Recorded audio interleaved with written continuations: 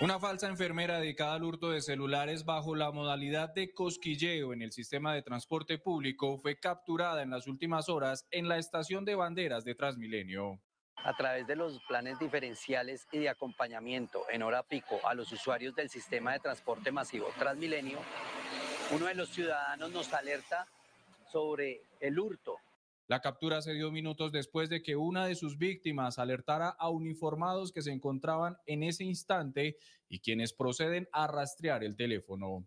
El cual fue extraído de su bolsillo. Inmediatamente nuestras unidades en sitio de la estación y de la troncal llegan al mismo, solicitan su número de teléfono, marcan al mismo, una vez dan con la mujer, proceden a realizar el registro y en su poder fueron hallados seis celulares más que según las autoridades tenían el reporte de hurto a través del email.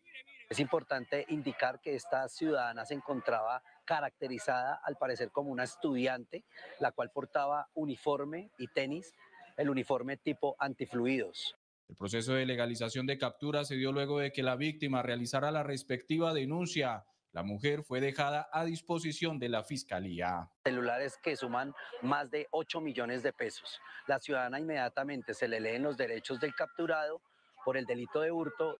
De acuerdo con las cifras, en lo corrido del año, 287 personas han sido capturadas en flagrancia y 211 celulares han sido recuperados.